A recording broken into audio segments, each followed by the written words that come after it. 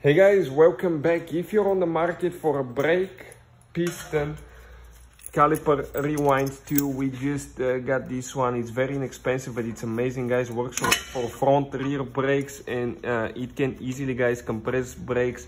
Uh, there is a trick how to safely do that. Uh, what to uh, not actually do because you can often uh, that can lead to a loss of brakes check out complete video about that guys will be on our youtube channel auto repair guys our mission is to save you as much money as we can